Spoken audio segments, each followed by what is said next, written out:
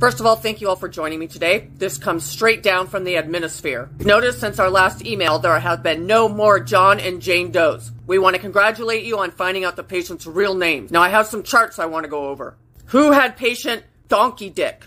Donkey Dick.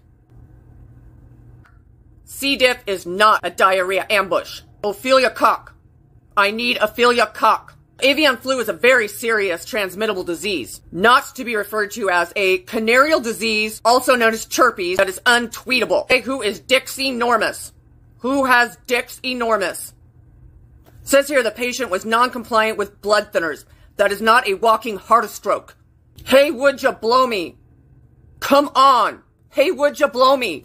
This was a code. It was not 855, but still alive. Someone claimed Mike Clitoris. Someone gonna answer to Mike Clitoris? ROSC does not mean returned. Oh, still a corpse. Mike Crotchburn.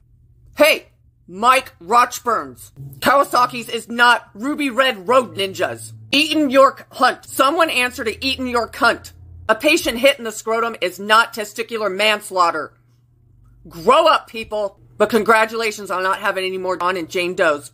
Good work.